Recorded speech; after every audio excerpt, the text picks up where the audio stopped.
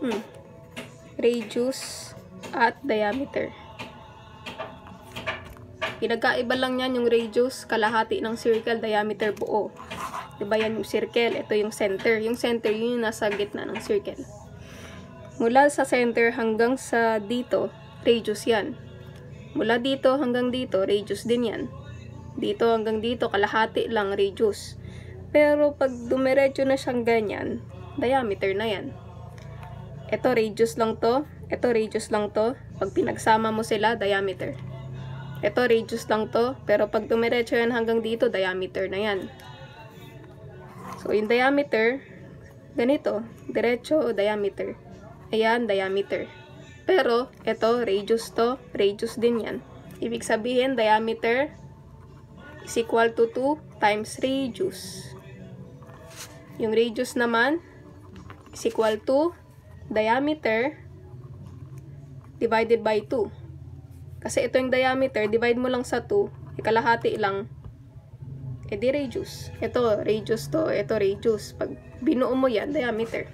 Halimbawa, ito 2 cm.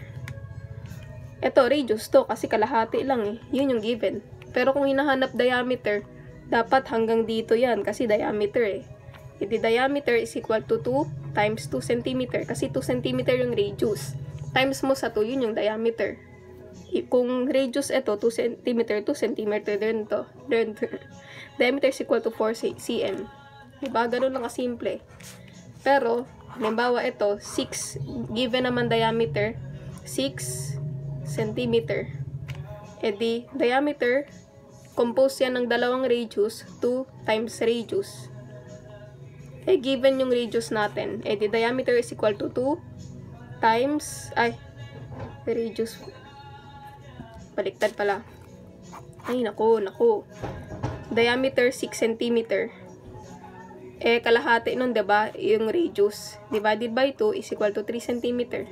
Basta kalahati ng diameter is radius. Halimbawa, ito, 18 cm. Yung diameter. Divide mo lang sa 2. 18 divided by 2 is equal to 9 cm. Yun na yung radius. Given lang, diameter is equal to 20. Ano, ilan yung ilan yung radius? E di 10. Kung given 30, ilan yung radius? E di 15. Kasi divided by itong mga lang yan. Paulit-ulit. Okay, yun lang tatandaan mo. Diameter, pag given yung diameter, i-divide mo lang sa 2. Yun na yung radius. Pag radius naman yung given, times mo lang sa 2. Kunwari, radius na given, ito radius to eh, kalahati lang. Kunwari, ito 6 cm. E di yung radius natin, 6 cm, yun yung radius. Times 2 is equal to 12 cm, yun na yung diameter. Okay? Okay na yan ah. Ito, ulit-ulit. Summary. Circle.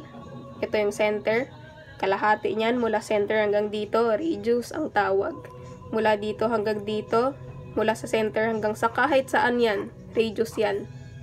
Pero, yung diameter naman, mula dulo hanggang dulo. Tapos, ano siya sa center. Kailangan tu- tumapat siya sa center. Ito yung point. Mula dulo to dulo, yan yung diameter. Dulo to dulo, diameter. Ilan yung radius niyan? Apat. Isa, dalawa, tatlo, apat. Radius to, radius yan, radius yan, radius yan. Ilan yung diameter? Dalawa. Isa, dalawa. Diameter is equal to 2 times radius. Yung radius is equal to diameter divided by 2. Tandaan mo yan. Tandaan mo yan, Isel.